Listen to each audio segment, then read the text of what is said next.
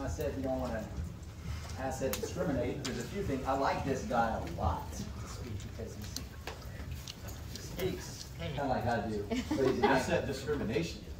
I don't need another lawsuit, man. Um, I like this guy a lot because he was. Who, who's ever heard of Terry Summers? Raise your hand. Good, good, good.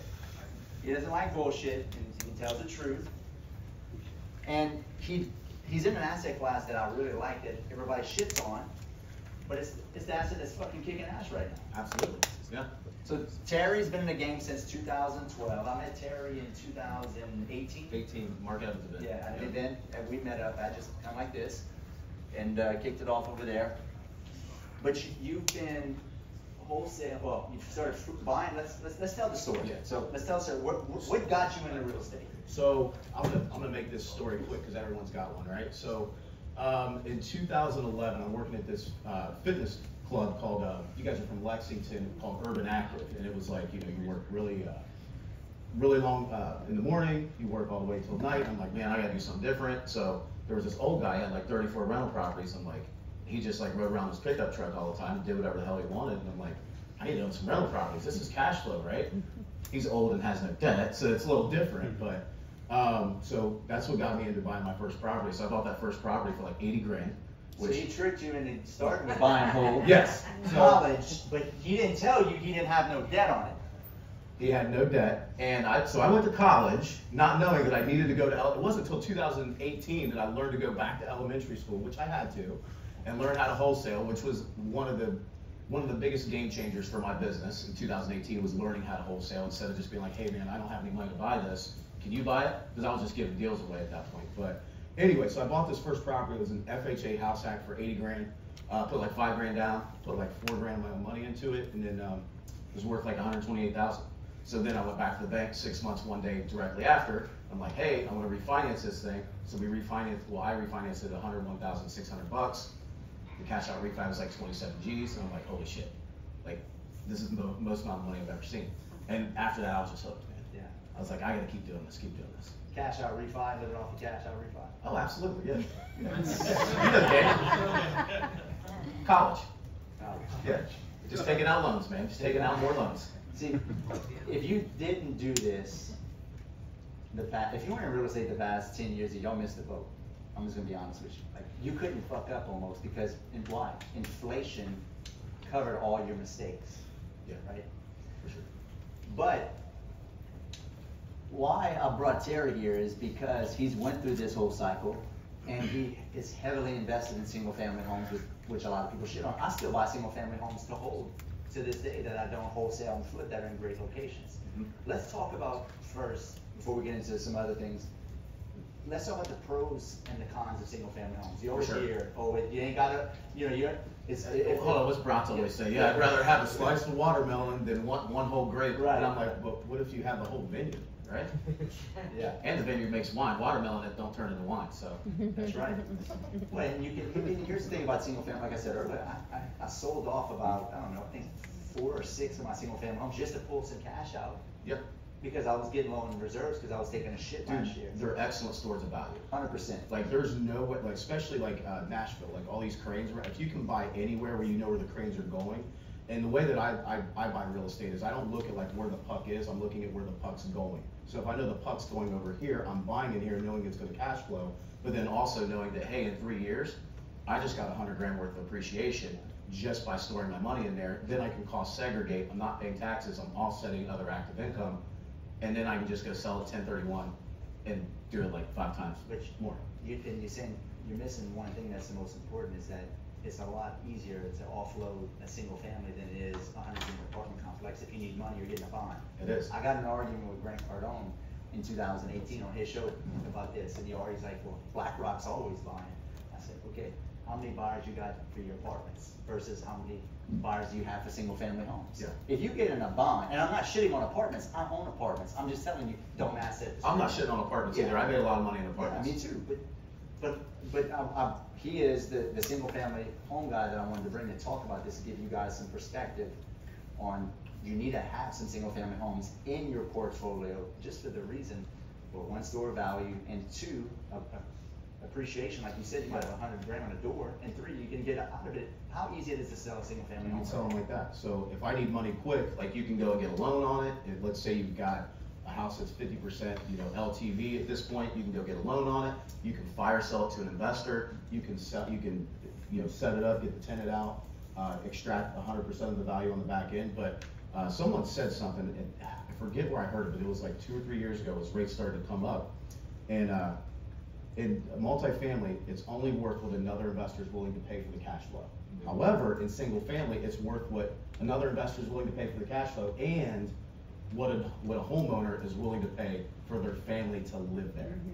Think about That's so that. weird, let's write that down. Multi-use. So they're an emotional buyer and they're always going to pay more and they're always gonna overpay. Uh, I wanna bring this point up too, Chris. If you guys look around the world or you guys study other markets, like look what happened to Phoenix, look what happened to Vegas. Okay, let's go outside the United States. Let's look what happened in, Australia, in Europe. People rent. If you wanna buy, like if you go to South Korea, for instance, right, one of our, uh, investors from South Korea, you wanna buy a place in South Korea, you're spending, you know, a million, a million five just to live somewhere, just to say that you own it. So if you guys think the situation's bad here, look what's happening across the world. So that's why I'm so bullish on, on single family. All you gotta do is just look up elsewhere and figure out what's already happened, because it's going to continue to happen. Terry, what did you say, investors will buy, will buy cash flow? Yeah, investor buys, uh, based on what the cash flow provides, which with debt, the way, with how high debt is, right? Yeah, That's went down. So apartments that I sold in twenty twenty-two are not worth what their, the, the is not what it was, what I sold it for in twenty twenty-two. But on a single family house, it's so more. that guys, is, is the values are- are less than what you, now, yeah, yeah. yeah. Um, but on a single family house, it's worth what a family is willing to overpay to put their family in it. To live there.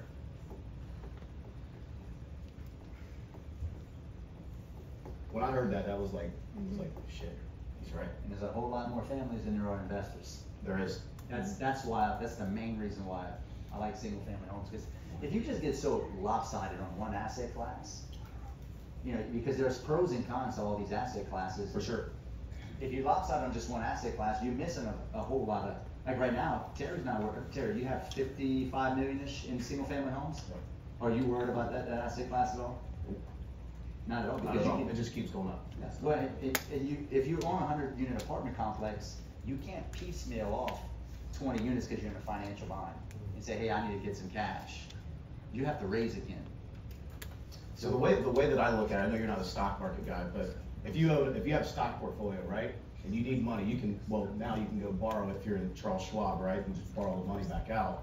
Um, but if you wanted to sell stuff, I don't know, sell Nvidia stock, you can do that because you have a diversified portfolio. And that's the, the, one of the cool things with single family is if I have a highly appreciating property that I need money and I need access to it, I can just sell that one property like that. So one of the things that we do every renewal, every renewal month, um, we look at who's renewed. We rank, we, uh, rank all of our tenants, green, yellow, and red.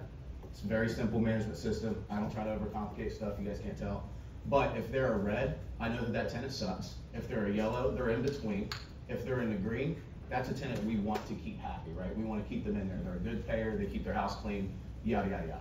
But if they're in the red, I'm like, I'm identifying these properties, then I'm looking on the REO schedule, I'm looking at, let's say, thirteen sixty-four South Champion Avenue. I'm saying, okay, uh, this lady sucks, and we're just not gonna renew her, and then in thirty days, she's out. Now I know that in the next thirty days, I can put that house up for sale, and I can extract my value in ninety days or less. Or if I wanted to sell, fire sell to an investor, I could just fire sell it with the tenant in there, right? So, but you gotta buy, uh, sorry, uh, but you gotta buy in the right areas too. Like, you can't buy all A-class stuff or all C-class stuff. You have to buy in that, that niche to where you can rent it and still make cash flow, but then also too, you can sell it to another. owner. That's such a good point, what you just said. That, I wanna write, this, you understand what he just said? Because you don't, you don't wanna buy a good single family No. house. Because, yeah, they make cash flow great for tenants if they're not wiping shit on the wall. But you can't sell them. That's the problem. You can't, you know. Because those properties are only worth what another What another investor is, is willing to pay for That's that right, cash that's flow. I can't sell it to a family. A family's not gonna buy it. No. No. It's just gonna be another investor and you're gonna have to give it away just like you bought it at a steal. Yep. So what, what we putting here? I forgot what we, what was it that we A put? class, B class. Yes. Yeah, and we stay right in B, so like our average, uh, Glass. So our average house value right now is right around like two hundred thirty thousand for Columbus, Ohio, that's kind of, it, like our, our hood stuff is like one forty. Um, the newer built hedge fund style two thousand house is probably three fifty to three seventy-five, so we're kind of right in that midpoint. Um, so yeah, What kind of data do you get on these things? so I used to go to community banks, I used to be all about these community banks, right? And, Um, who, who deals with community banks, by the way? Okay, good. I, I think it's, I think you guys need to keep all of your lending relationships open at all times. Like, you never know, you know, that shark lender that you're gonna need, or that person that might cut your head off, you don't pay them back next Friday. You need to keep all those relationships, including your community banks. Um, so I was getting, um, I locked in a bunch of stuff like four percent for five years, right before, I didn't get all of it done. Um, but now I'm, I'm going straight to DSCR. In order to get these things to cash flow, I, I can't go to a community bank and pay a half percent. DSCR DSCR, debt service coverage ratio. Sounded really smart there, didn't it? Yeah, I almost said that correctly too. Um, so debt service coverage ratio, and there's a ton of these lenders, they're all getting their, they're all getting their money from the same two places. Um, so no matter who you go to, Kiavi, RCN, you know, uh, whoever, right, Temple View, they're all getting their money from the same places. So, um, but generally getting like seven and a half percent, thirty years. I'm doing interest only at this point. So I'm kind of doing these Band-Aid loans is what I'm calling them, because it's like a Band-Aid until rates come down, then I can get them on a twenty-year, get them, uh, get them paying down some debt. But I'm a huge fan of, if you can cash flow it, get a mix of fifteens, get a mix of twenties, get a mix of twenty-fives, get some thirties, get some interest only. Because if you're that person that just does interest only, you're gonna turn thirty-eight one day and never pay down an ounce of debt. And then if something does happen, then you're screwed, right? But at the same time, you don't wanna like worry yourself to death to where, you know, you're struggling to cash flow every month as it is, right? Roof goes bad, sewer line, you got forty-two people who decide to move out on you in I one saw a month. video you made. Oh, it's fucking bad. You had. It's so bad right now, dude, I can't even lie to you, it's No, bad. But the economy's rough. The economy's rough, yeah. I mean, Yeah. and this is the reality, that's why I wanted to bring, that's the reality of being a landlord. You're gonna have people that, that just destroy your places and you, after you just fix them up and you gotta spend another five grand just to get them rent ready. Yeah, Um, I saw a video you did uh, last week or week before, you had how many evictions in one day? six. Six in one day. That's the reality. sheriff, bailiff, they're like, oh, let's go to the next one. We get in the cars, we load up. I always go to my evictions, um, just because they get a little rough sometimes, and I just, as a leader in my organization, I want to be the forefront of that. Um, just one of those things I, I just, Yeah. I just like to do. And, and- you gotta be hands-on, and you're in the, you're, you're in the, the- the trenches, so to speak, and, and, cause you're not having, doing real estate, cause I, I'm, you know, I don't like when they, they say on social media that, you know, I don't work in my business, or, you know, I just get everybody to do everything for me. Uh-huh. That's such horseshit. It's such bullshit. It's bullshit. It sounds good on the gram. It's not, it doesn't check off the box in reality. Yeah, if you have a team helping you, but somebody's dealing with the bullshit. And even though it's passive because you have a team, guess what they call on you? Because I got a big team. I get calls all day, hey, this guy shit in this wall, this guy shot up this. You think that's like passive? No. You start getting emotional about it, and you're like, man, why's he shooting my place up? Yeah, like, I mean, but that's, You could've picked on somebody else. right. So you did six evictions.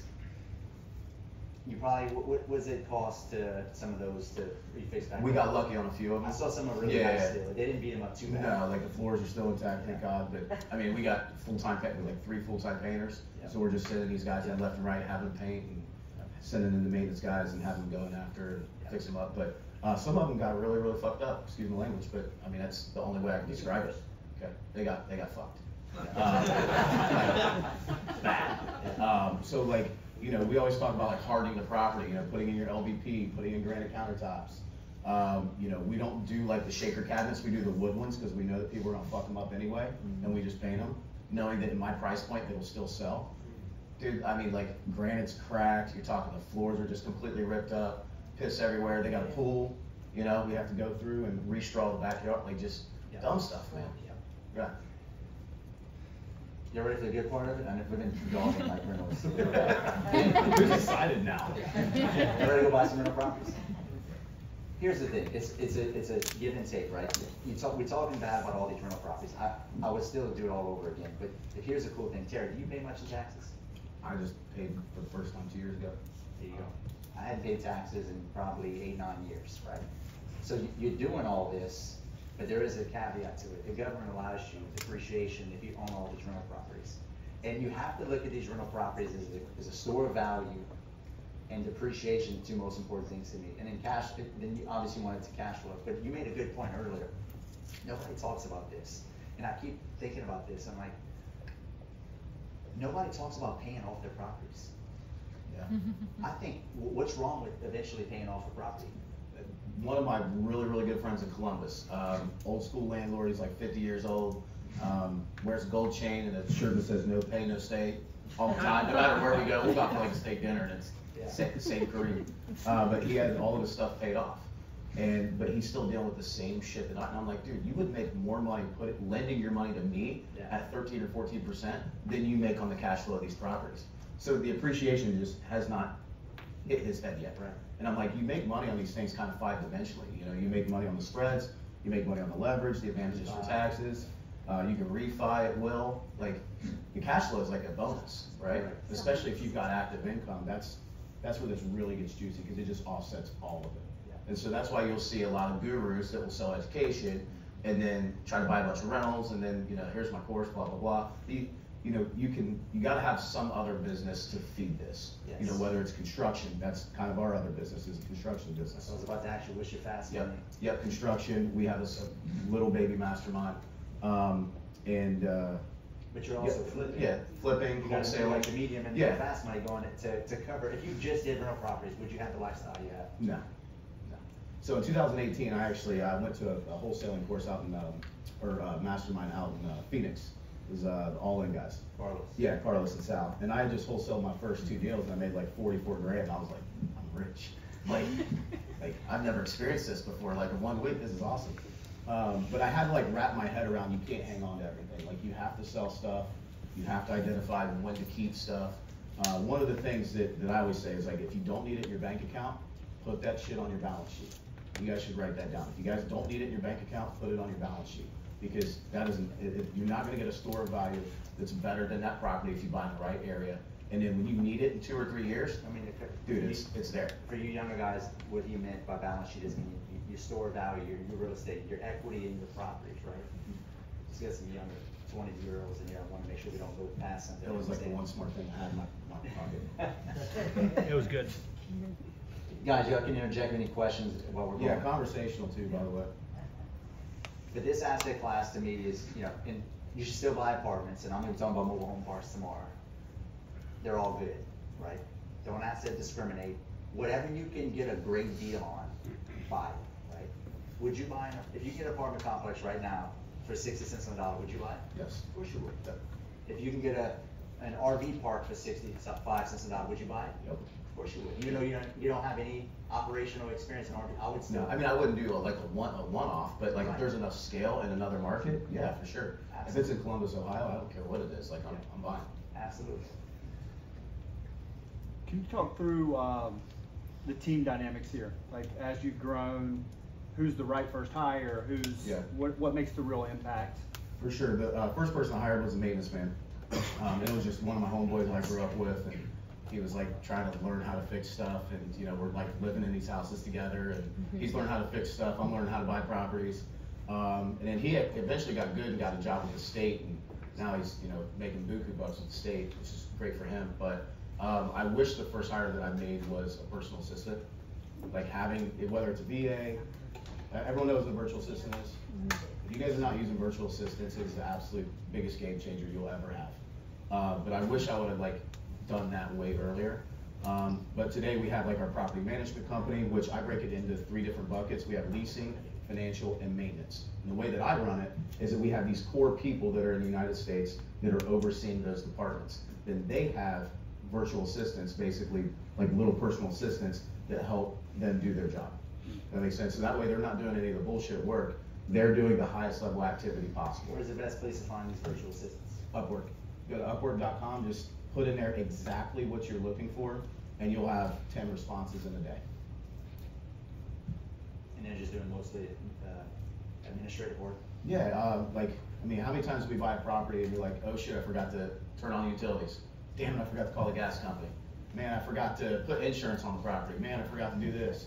like, make them do it, right? Like, all that BS stuff that someone else can do, like, have them do it. You're looking into it. Um, Yeah, I have one. Are you personally training them yourself, like just to give them to your standards, or are they already kind of coming out of the gate with a, a a broad knowledge, or at least a, you know, somewhat of a knowledge, real estate knowledge? um, I, When you get I, I don't, When you get off Upwork? yeah, I don't really need them to, cause we, we have like training, I actually learned this from Thayer. Um, just record, have your team record what they do on the computer, so if it's a task, just have them record it, save it, and then, uh, we have this thing called a responsibility matrix, so literally, it's every like one-off task that I could possibly think of in our business. Then we, and it's, dude, it's super simple, it's all in Excel, it's not some grand, big thing. You just put in there what day of the week that task needs done, how long that task should be done, or a day of the month, like for instance with evictions. We don't file evictions till the fifteenth. I don't wanna think about that shit until the fifteenth hits. Or like AP, we, we do AP runs twice a month on the tenth and twenty-fifth. I don't wanna see, you know, AP and how much we owe people, you know, all, every single day, but you just designate certain times for all that stuff. Um, but yeah, that's, and then you have them go look on there, there's a training video, they click on that particular task and they know what to do. Gotcha. Where are all you sim- single-family homes? Are they all within Ohio or? Just Columbus. Let's talk about that, because that is, that is def- definitely a disadvantage if you own single-family homes, is they're spread out. So if you're gonna do single-family homes, you don't wanna do it all over the country, you wanna do it in your, in your city, in your backyard. Absolutely not.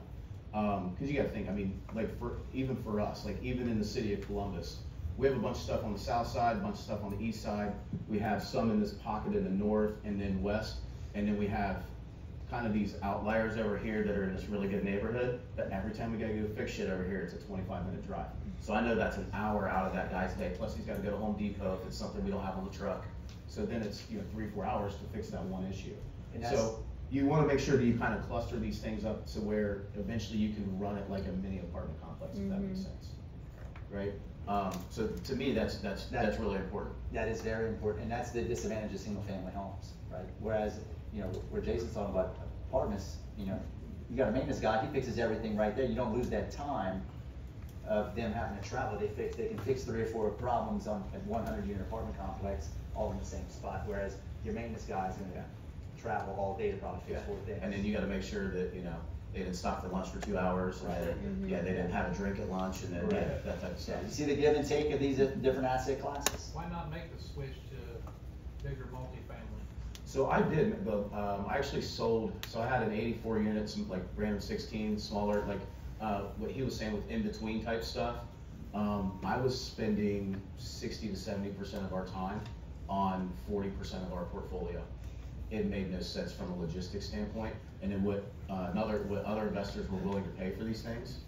And I knew that rates were gonna, you know, start rising, like, it was, it was time to just, it was time to turn them in. And you sold at the right time. I remember when you sold a bunch of your apartments, you made a big rip. Yeah. I remember that. Big That was, rip. that was twenty twenty-two, Yeah, twenty-one? I sold them all, um, the last one I sold, well, the last couple I sold was in the beginning of twenty twenty-two. Yeah, I remember. So I didn't have to pay taxes on that until the end of last year. So you timed that right. You said, remember I talked about in my presentation, market cycles and time. If you'd have tried to sell that now, you wouldn't have, No, I'd be stuck with the guy that you sold it to is probably not a good spot. He's not a good spot, no. He's not a good spot at all. Buy it back. Cause he don't, yeah, you don't understand time. Um, but yeah, like for me, like it's not, you know, if someone brought a- an apartment complex that made sense, absolutely, man. It's just, it's, it's just, you manage them different, you know? Yeah. Um, you know, single family houses, people want, people don't wanna live in boxes, and now we have all these boxes everywhere, mostly on the luxury side, but, um, we had, you know, some C-class apartments, we had some, a couple Bs. Um, we just, there's just such a, there's so many of these damn things, and it's like, like we have this random nine unit, for instance. Um, great part of town, I got the, this big mural, uh, we had like the, uh, city attorney actually take a picture in front of the, uh, my mural, like, pretty badass, right? I can't rent these things for more than twelve hundred bucks to save my life, and they've been twelve hundred dollars for the last four fucking years. Apartments? Apartments, yep. Just, it, it- there's so many of them, and people have their choice. But then when I put up a house, it's like, you know, these people that are moving out this month, it's like, I'm bumping the rent two, three hundred dollars because people need the space. People are start, I don't know if you guys are seeing this, but this is something I'm seeing. People are starting to shack up again, so you're not getting the single mom or the single dad. You're seeing people start to work shit out again. People are starting to fix their, their, marital problems and move back in together. Um, where it's like, hey, we've got a mom here, mom here, boom, we've got three bedrooms with a basement, we can afford eighteen hundred a month together, cool. But another argument to the single family versus multifamily is if, if single families are so bad, why is Black Rock, Blackstone, Vanguard and all that buying? Know. Someone tell me. I mean, I, I, That- that's what I mean, as soon as they started coming in, I was like the first guy, I was like, this is bad. Like, I don't know if you remember, like 2018, 2019, I was huge on social, just like, guys, this is not good. They're gonna end up buying everything. Yeah. And now, now that they're not buying everything, now everybody wants to cry about it. Yeah. But eventually, once rates do come down, like I was just recently at the, uh, the IMN conference, it's the, uh, International Single Family Rental Conference down in Miami. All these guys want from Wall Street is just to know when rates are coming down and have that first rate cut. And they're coming. Like, they're not going to stop. So I would encourage, if, if you guys can just buy as many of these things as you can, you will not regret it. Just as long as you're stealing it legally, ethically, and Morally, morally. and ethically. You said something really good, because that is the indicator that the next cycle, as soon as they drop rates, and I could be wrong, but I doubt it, it's not too often they drop rates and they go back up again. If they're gonna start dropping rates, they should just keep coming down. Historically speaking, they don't usually just drop and go back up, but who knows, the only issue I'm saying that now, though, I could be wrong, and, and I'd like your thoughts on this, is that if they drop rates and everybody starts buying again, we don't have enough inventory, so it's gonna jack everything back up, and I'm worried that all the prices are gonna go crazy again, and they're gonna have to uh, go ahead and increase the rates again. Who, who was, uh, show of hands, who was wholesaling in 2021, 2022? Okay, every hedge fund was overpaying for properties, am I right? Like, Opendoor, baby. yeah, like, it, it was nuts, right? Uh, I remember we sold a property at the end of 2022, and we knew it was like gonna be the last one. We sold a property for like, we had it under contract for like 270, and they're gonna, and their max was 360, and we got it to go to 370 on it. And we're like, you gotta be shitting, but we knew it was like the last one, and that was the last one.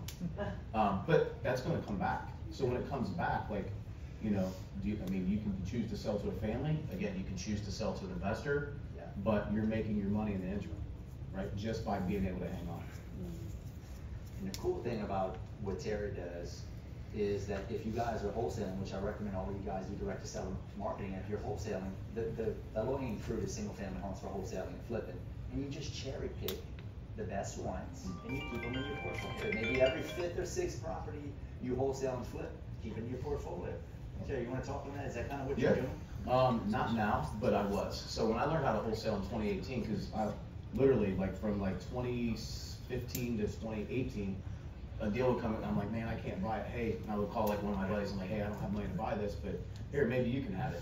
I could have been making you know spreads, just you know, you know, putting deals together. But uh, I didn't understand it. So, anyways, after I learned how to wholesale, um, built the team, had like five young dudes in my office, had the dong, had all that stuff, and I would just cherry pick all the deals that came through.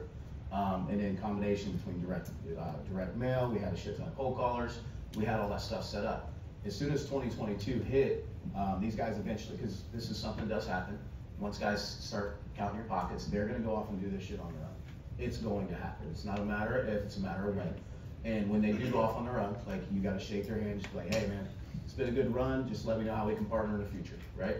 Um, so that kinda happened at the end of twenty twenty-two, everyone ended up branching off on their own, so now we buy deals from those guys. Um, this is a, a cool thing that we're doing now too with, uh, our office building, is I'm doing like this wholesale incubator thing, where like they get access to me, my team, um, you know, systems, all the stuff that we're doing, and then I get first crack at all their wholesale deals. So now we don't have to spend as much money on marketing or any of that stuff. Heard what he just said? That Mhm. He's cheating legally, morally. That's how we gotta start thinking, that, that's, that's brilliant. Yeah, uh, but I don't wanna be on, I don't wanna be on the phone with sellers. I don't wanna hear those conversations. I've been hearing those conversations for ten fucking years. Like, I want to talk to business owners at this point. If I'm gonna be in a single family business, I want to talk to business owners. It's, how much more fun is it when you can bring someone in the chair and be like, hey man, how you been? Light up a cigar, man. Here, you want a bourbon? Cool. Just lay back. Lay back in my massage chair. And then we start working out some deals. Like, that's fun to me, right? Like, um, you can't do that with a seller, right? But like, you know, with whole, other wholesalers, business owners, you know, go, go work out together and then, you know, hey man, if, if I can do more pull-ups than you, you gotta sell me this deal at this price. How much more fun is that shit?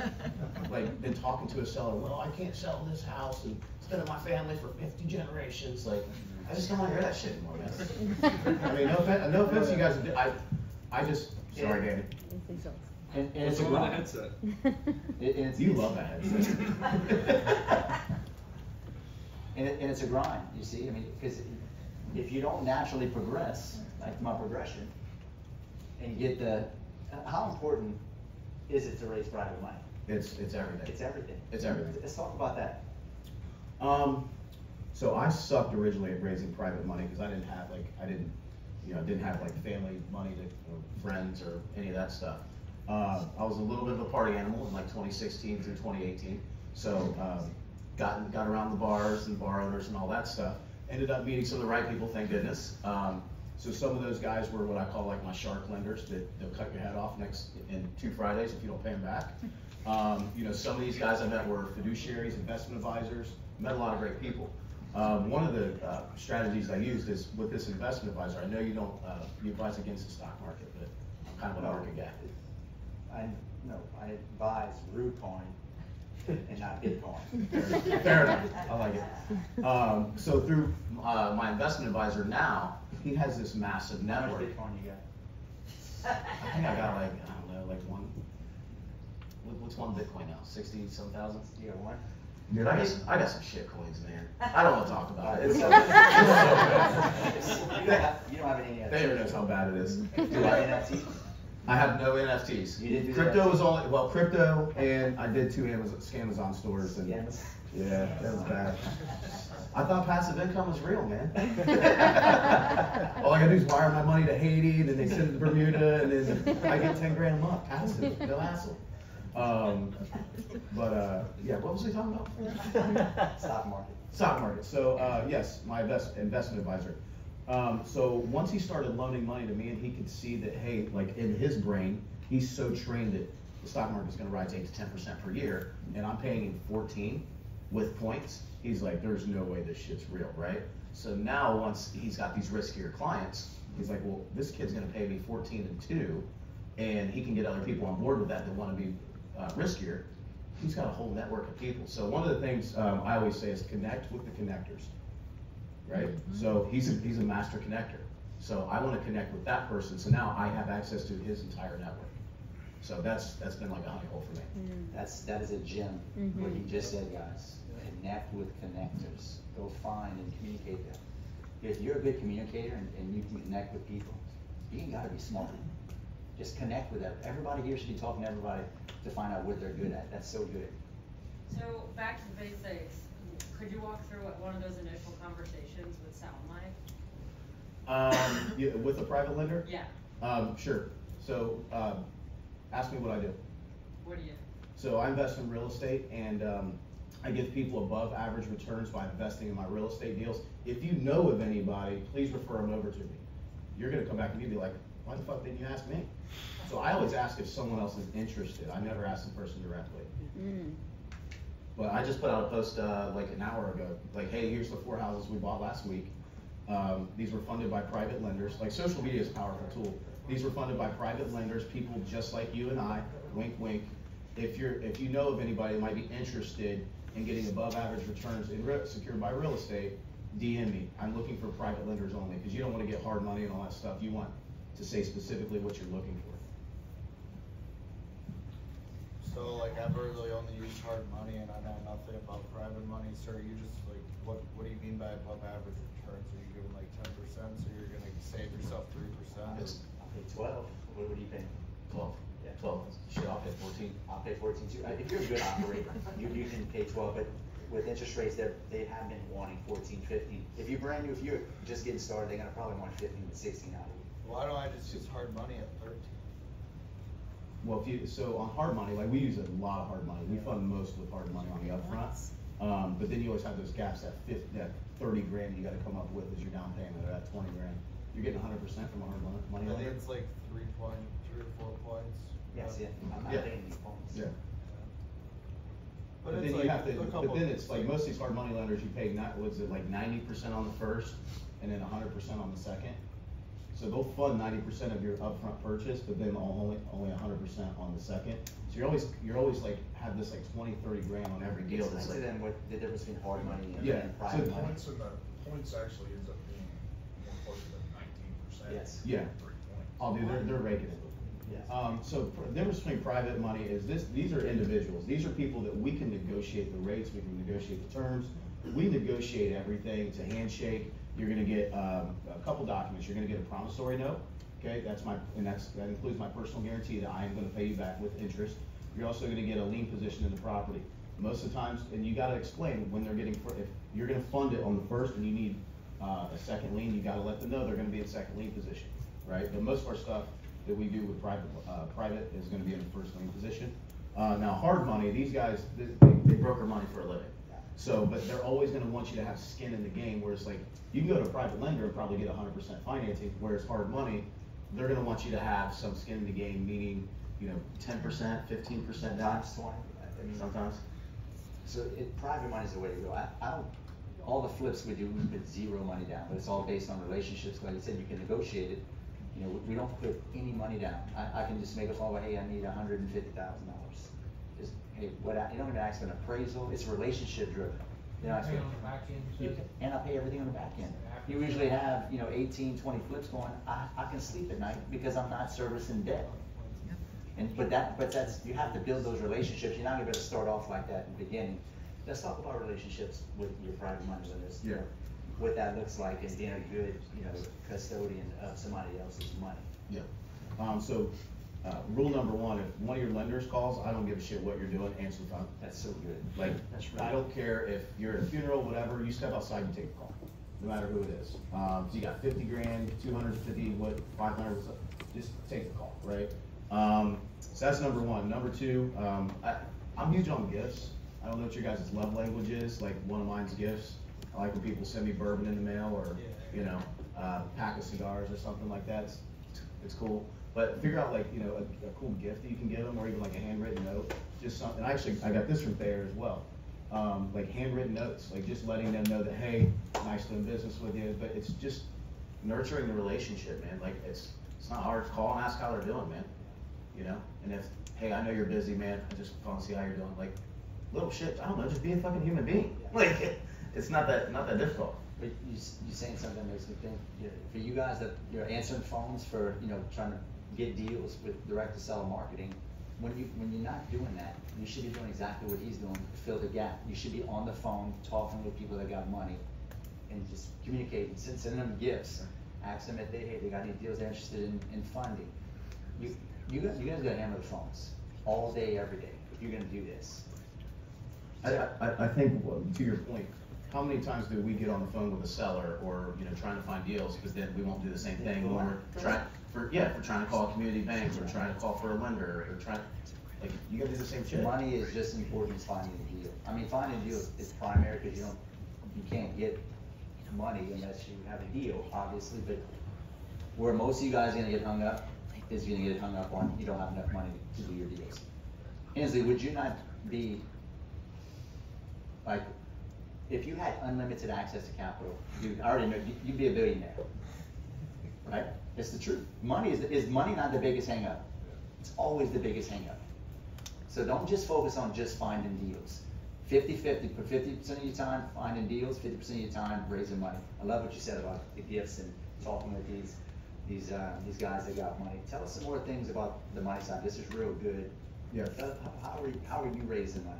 Um, so I, I used to go to a bunch of banks, and that was kind of like my big thing, is I would go to, um, I would go to these small banks that were around Columbus, Ohio, but I would find every bank that I've never heard of. And the ones that were slightly outside of the metro, I knew that they weren't gonna lend money in Zanesville, Ohio, but they need to place money in Columbus, Ohio, because they don't have shit going on in Zanesville, Ohio. So then I would go to these banks, I would shake hands, or I would try to find someone that I might know at that bank, or a LinkedIn connection with someone that I knew at that bank, um, and just try to make a relationship, or have someone do a warm email intro. Uh, we borrowed almost ten million bucks from Richwood Bank out of Richwood, Ohio, all because a guy who was a bar owner ended up doing uh, business with Richwood. And he's like, yeah, uh, they funded some of my bar, blah blah blah. I was like, dude, can you do an email intro? And he introduced me to the VP of Commercial Lending in 2017. And because I had that connect, that mutual connection right there, and he basically put his stamp on me, say, hey, this guy's good for it. I was just, dude, I was banging out loans for like two years. So, but um, on the banking side, like just it's the same thing. It's like law of averages. Like the more people you call, better shot you're gonna have to get money. You just said another good thing. Just because one or two, three or four people that got money tell you no, you can't quit. Most of you guys that quit, Coach Bird talked about this, you gotta be a savage out there. If somebody tells you no, go to the next one. You know how many banks told me no on my first mobile home park? Six. And I already had a big balance sheet before I bought that. But once I got my first one done, it, it, it didn't stop. So, Terry, talk about the persistence. You know, to get to where you, you've gotten, you're not a quitter. No, you can't be. Can't be. Um, case in point, I pulled this up on my phone, so that same bank, Richwood Bank, right? Um, that's a loan denial yesterday. Yep. So just because they're lending to you today doesn't mean they're gonna lend to you tomorrow. Their appetite, uh, you know, for certain asset classes may change. What people are lending money on may change. People might get spooked out about the market, that may change, but just because it's yes today doesn't mean it's not gonna be yes tomorrow and vice versa. It could be no today, it could just be money's tied up, right? And it's gonna be yes in two weeks. And then money, it, it flows, man, you know, so especially with lenders or people that are professionally lending, it's like, once it comes back in, they want it to go right back out. Yeah. So you gotta be there or, or know like, hey, this is when they're gonna have money coming back in, so that way you can, you can follow back up. The same way you would with a, a seller. Same as that way. Yeah, so private money for your flips, and you use that for your long-term rentals, and then with the private, do you, are you always trying to cash them back out, basically, with the refi or something like that? Um, yeah, so I, I used to get, so the way I would do it is I'll- I would borrow hard money and I'd, I'd fill the gaps with either private or my own cash, okay? Or I'd borrow private money on the front and then I would do the BRRRR method and I'd refinance out with a community bank with rates the way that they are, and most banks want a twenty or a twenty-five year note. Um, I can't cash flow in twenty-five years at eight, eight and a half percent. So I need seven percent interest only debt on thirty years. So that's why I'm going to these DSCR lenders, which you could do a Google search and find twenty thousand of them. Um, I got a referral code if they want one, but like, you know, it, you can Google and someone's gonna give you a call. I mean, there, there's so much money out But there. you're always trying to pay place. back, like, the friends and family, the, the private money, trying to pay it back. Yeah, so when you fund it on the up, when- whenever you fund it on the upfront, whenever you refinance, everything gets paid off on, on the upfront. Yep. They're not, they're not lending you money for thirty years, basically. No, no, these are short-term notes. These are, most people is six to nine, you know, nine to twelve months. And then once you refinance out with the bank, then, um, they're take, they, they pay all that off. And then, you know, if, uh, people want to get that same amount of return, they're like, hey, where's the next deal? Yeah. Yep. The, the thing is, guys, if, if you match up direct to seller marketing and you're a stud at raising private money and you do that, you, you can't help but to build, I built most of my wealth in the past five, six years from doing that because if you can get a, a, a call- a seller on the line and you getting this deal for fifty cents on the dollar and you tell them you can close on it in a week, it's a superpower. And you really can because you got, you know, every time Dick and Harry want to give you money. That, that's how you gotta do it. So if you guys are, are not doing direct to seller marketing and raising private money, you're not gonna better go against a guy like Terry and me who are, are doing that. Terry, the deals that you're getting, so you're doing direct to seller marketing now or you, um, I've come, yeah. You calmed it down, okay. So over the last definitely six to eight months, yeah, calmed Yeah. down. Just, at this point, we just don't need to. right, I mean, it's social media, it's email list, it, it, I, I'm big on building email lists. Mhm. So any seller, um, invest, we put realtors on there, send emails, I'm huge on that. Um, and then, you know, just having the network at this point over the last twelve years, it's, we don't really have, you know. which you built, when I talked about the triangle, this top of the triangle, the most important, a brand. Yeah, People know, like, and trust you, because you've been at this for how long? Twelve years, Twelve thirteen years, yeah. Ten years, we're not talking about decades, think in terms of ten-year cycles. It's gonna take you eight to ten years to really get a, a, a good, strong holding on you. You have all the connections now, you've built a portfolio, you have a process, a system, you have people working underneath you from now, now it's just time. You keep doing what you're doing over the next, say you do it for another twenty years, how old are you? Thirty-eight. So dude, you got, you probably got thirty years left. I don't know, man, my head doesn't. So, but you, you, you pick up all these things and you see these speakers, they, they all have the same commonality, they raise the money, go ahead. Yeah, but, uh, you know, I had to do that from two thousand eighteen to two thousand twenty-two, like, we had to go direct to seller to grab all of these deals, you know? I had to have five guys in my office, you know, banging gongs and, you know, running around the office like idiots and doing balloon parties and ju- just the whole, it was, it was a fun culture, don't get me wrong, but like, you know, these guys went off and went on their own, and, and now it's like, I've realized that, hey, we don't really need to go that far anymore, and I can kind of step, I don't wanna say step back, Yeah. but make it more of a lifestyle business. I don't have to be in the office every single moment of every single day. You just said something, it's, it can be a lifestyle business for you now, it, it took a lot of fucking hard ass work and grind to get to where you're at, where you can do that. Yeah, That- That shit sure. doesn't happen, you, there's no way you could have lifestyled it up until now. No, there's no way. No fucking way. no way. You're gonna, you're work. gonna put it in and it's gonna hurt. Yeah. That's the way it is, man. Uh, you know, Patrick Bet David talks about this all the time. He talks about these ten or twenty year runs. And sometimes like we beat ourselves up because we feel like we're not like I feel like I've done shit yet. Like I literally feel like I've done nothing, right? Um, the goals I had before I was forty, like I'm probably not gonna hit them. I'm still striving for them.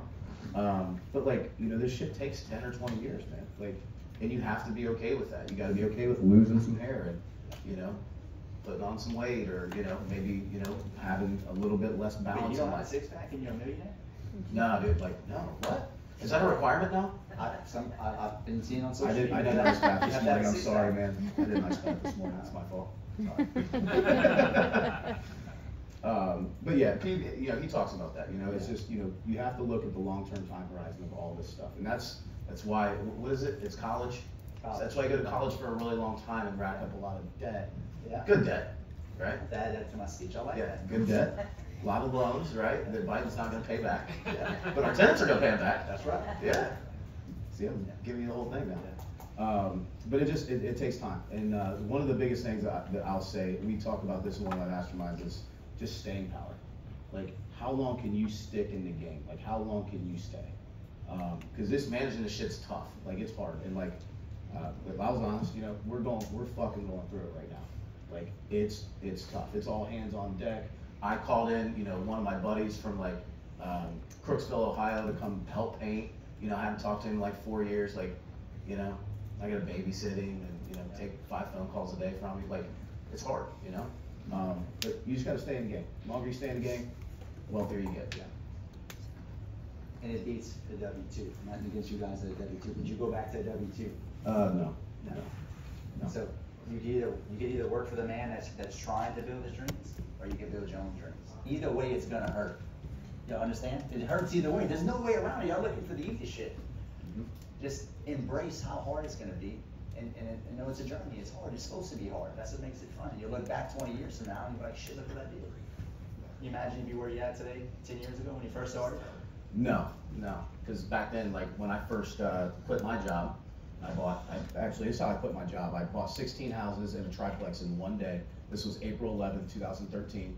I went in and quit on April 12th. I got really liquored up that night. Got the courage to quit the next day, and uh, took my team out, got them sloshed on lunch, and went in and quit. And I'm like, holy shit, I got to go rehab all these houses. And I had 34 units, units, because I had this triplex. Um, and I'm like, I gotta go figure out how to rehab and refinance all these houses. And I remember directly after that too, like I had my first month of where my bank account literally went up like 14 G's. And I was like, man, like this cash flow is real, man. You know, but I didn't have any problems. They were all, you know, newly rehabbed, all that stuff.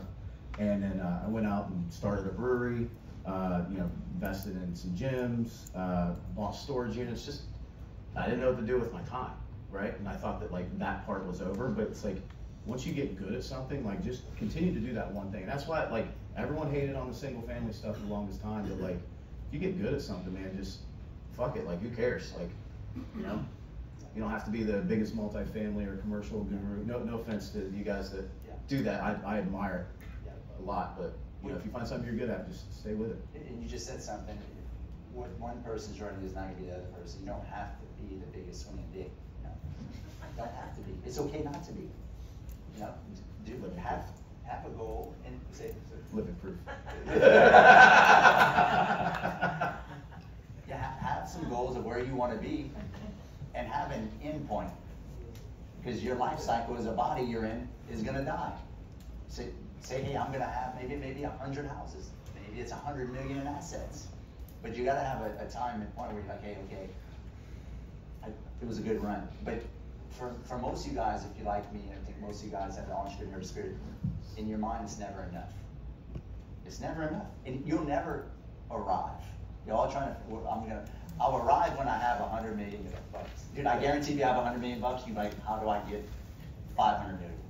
it never ends. So, Sarah, if you kick the bucket next week, you had a good life, are you happy where you at? I'm not happy, but, you know, But you it's, it's been, it's been a good run. It's been a good run. It's been a good run. Yeah, I got some shit I gotta do first. Yeah, a lot of shit. So, I got a bigger boat to buy too. Yeah. I just took on water last week, so. Oh, shit. I got- Maybe it's a boat that you wanna buy too. Yeah, it's it's on the list. Yeah. So I felt like you set up a perfect question on like the bigger why. Like what's really driving, what's driving you? uh, at this point, it's my, it's my, uh, you know, my, my kids. Yep. For sure. Um, you know, just making sure that I'm, um, cause you don't wanna be that dude that's like, you know, sells everything, retires, and then you end up, you know, you know, going this way because you don't know what to do with your time and, and all that stuff. Um, but, I mean, I think we're all happiest when we're building something.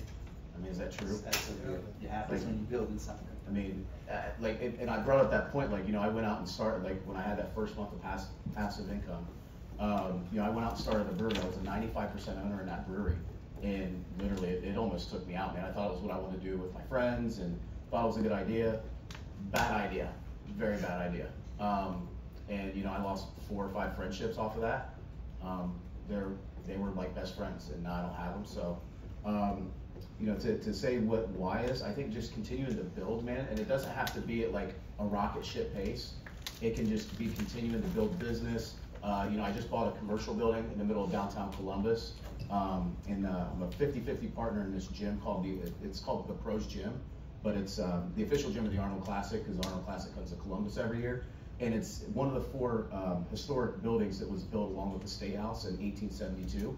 So like that's like a legacy piece, man. It's something that's like occupying time, something I'm super passionate about. Um, but I think just continuing to build stuff, man, having a lot of fun along the way, that's important. That's one of my core values. This shit has to be fun. If you're not having fun, you're not gonna work hard, you're not gonna make any money.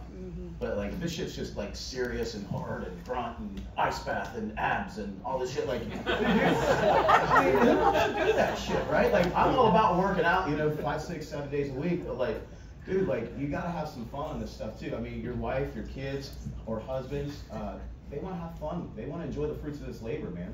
You know, they want your time. You know, you know, do some cool trips. I mean, did you? How many cool trips do you do all the freaking time? Once, twice a month. Yeah, I mean, it's awesome, man. I mean, you're living life by design. It's, it's what it's about. So, I don't know if that answers your question. No idea. Anybody else? Yeah, hey Terry, when you were to go direct to seller, what was your favorite source of? Cold call. Yeah, it's just predictable. When you were doing only around Columbus? Mhm. How, what happens when you call the data? We did, we did. Um, so here's where I screwed up. Um, so we were the Columbus Home Company. So I was trying to be, I was trying to basically corner the market, right? Um, so we were the Columbus Home Company and everything was Columbus Home. I had this golf cart, Columbus Home, had all our vehicles tattooed, Columbus Home. And I was like, fuck it, let's go to Cleveland. Let's go, um, uh, Jason's in Cleveland, right? Um, um, Cleveland, let's go to Cincinnati. So I bought OhioHome.com, which wasn't cheap. Um, and then we were just, we were fucking up, man. Like, we were losing money left and right, and just, it was too much too soon. Um, I read this book called The Art of War. You've heard that book, right? Okay, one of the best things I ever did. I opened up that book to this one page that said, instead of taking your armies wide, you gotta take your armies deep. And I'm like, dude, I've been doing the right thing all along. Just go as deep as you can in your one market. So when people ask like, hey, why don't you expand? I'm like, dude, I tried that and it just didn't work for me, so I don't wanna go back to that. And like, if you can just corner your market and be the guy in your market, like, what's wrong with that? How'd you get, keep getting more data in Columbus to keep calling? We just kept, we just kept buying data, man. Yeah. Kept buying data, uh, kept hitting the same people. Yeah. Um, and then eventually we had to scale back. We had twelve callers at one point. We scaled that back to eight, and we went to bringing all of them in-house, so that way we could train them. Um, that helped, and it was just, it was a constant, like, learning curve. You hired them on Upwork? Um, yeah, eventually did. And the other cool thing that we did too is we found a family, and then they were hiring the rest of their family. Ah. But then like you'd have a shitty family member, and then you had to tell them that this person can't, this person's on text this week because they suck. Um, but it was an easy way, like once you find an in with a family, like you can generally get more people. So Get their kids calling. yeah, could have did that. All right, all this stuff makes sense? You see the, the pros of single family homes and the cons? Give it up for Terry.